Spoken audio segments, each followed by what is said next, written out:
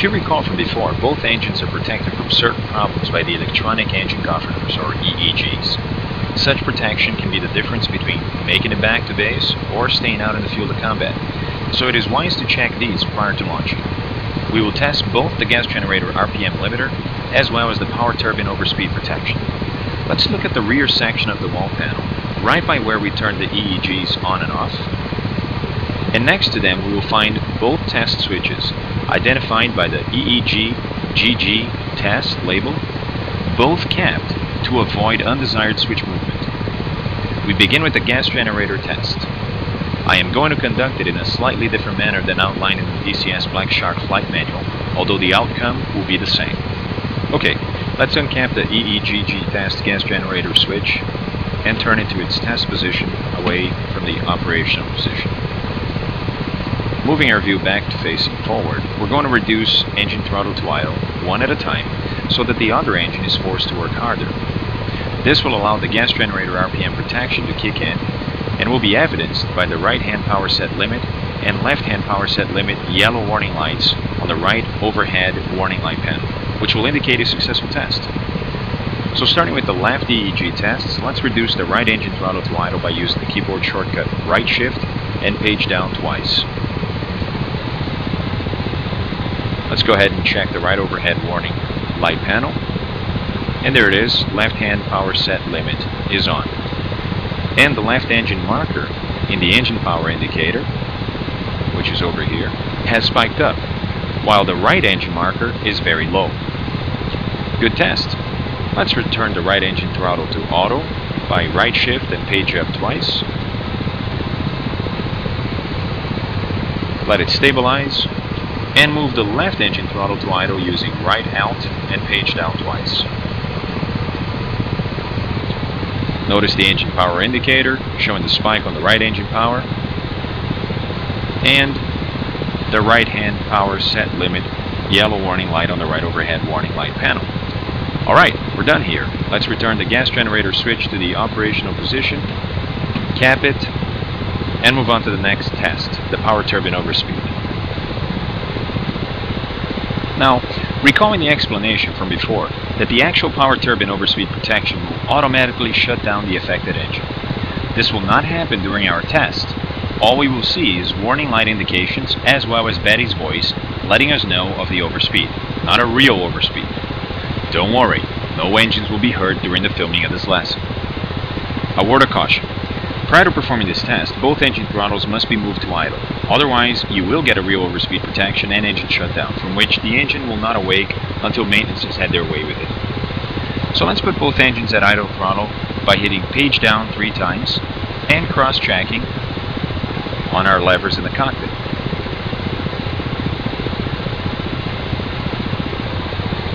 There we go. Now let's go to the wall panel and uncap the EEG GG test power turbine test switch.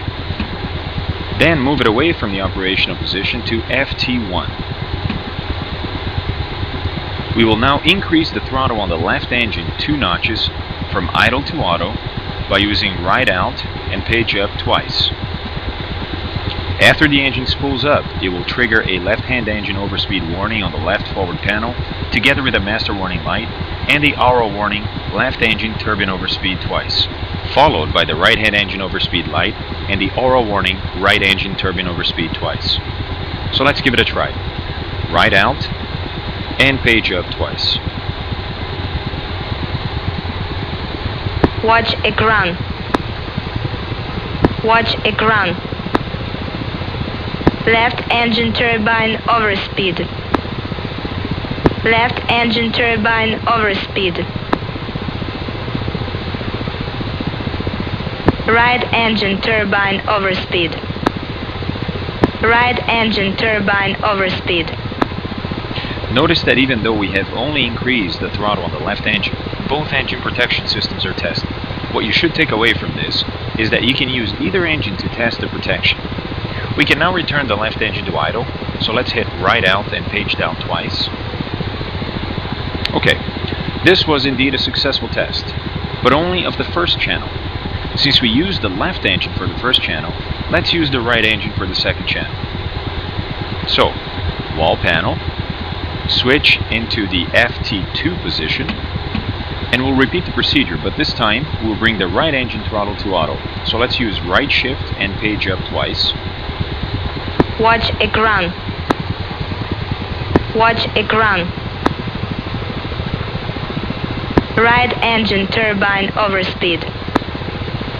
Right engine turbine overspeed. So this time we will see the right hand engine overspeed first, Left engine turbine overspeed.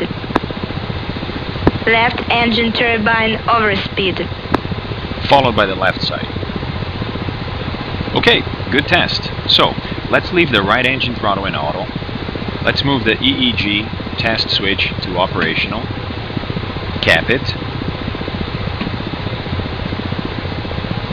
And move the left engine throttle to auto with right alt and page up twice. Let's cross check. Levers look good. RPM is at around 90%. Good test. Our next test is significant since it tests the rotor RPM readjustment, which we will have to do during an auto rotation. The switch that controls this is on the collective, and since DCS Black Shark does not have click points on the collective, we'll have to remember this keyboard shortcut. Luckily, it is one of the shorter ones. Simply right alt and the numeric keypad plus sign for nominal RPM, and right alt and numeric keypad minus sign for low RPM. The switch was in a nominal position when we got in the cockpit, and so it's where it rests now. So let's move it to low RPM and check that the rotor RPM drops to 84%. Right alt, numpad minus, there's the rotor RPM decrease, and looks good, 84%. You may get the low RPM caution light or zebra light, and you may even have it permanently on your cockpit when doing this. That's perfectly acceptable, although it does not need to come on to indicate a good test. Alright, let's return the rotor to nominal RPM by using right alt and numpad plus. And RPM increase about 90%. Perfect. Both engines are running in auto throttle right now, which means both generators are powering the electrical buses. So let's go ahead and disconnect the external power by making sure our SPU-9 is set to ground crew. And calling maintenance with backslash F10, F4, then F2 for electrical power off. 501. Request to turn off ground power. Copy. Ground power is now off. Okay, there's the call from ground saying they have disconnected the ground power. So let's go to the wall panel and turn off the external AC and the external DC. And let's also make sure that our inverter is set to the auto position, which is the up position. Perfect. This means we're done with the after start checks. Next, let's do the before taxi tasks. They are arranged in a very straightforward flow, so that the more you do them, the less you need to refer to this checklist, and the more it makes sense. We will start from the left side of the cockpit, running through the forward panels, then through the top of the wall panel, onto the auxiliary panel, back through the bottom of the wall panel or right panel, and finish up on the overhead. Okay, starting on the targeting mode control panel, bottom row, left to right. Let's turn on the K041, leave the helmet mounted sight off, and we'll leave the system in auto track, put the laser in standby, and leave the weapon system mode selector in Cannon MOV. We will not yet select any type of targets. These are done over here. If you're deploying on a mission and have intelligence already identifying what you will be shooting at, and the likelihood is that it's going to be a ground target, then you can select that before departure. In our case, we won't press any for now. To finish up on the target mode control panel, we select if we want our weapon system to be in training mode or not over here. Training mode will allow you to work the weapon system like you would on a real mission, but will not fire any weapons. We will leave our training mode off.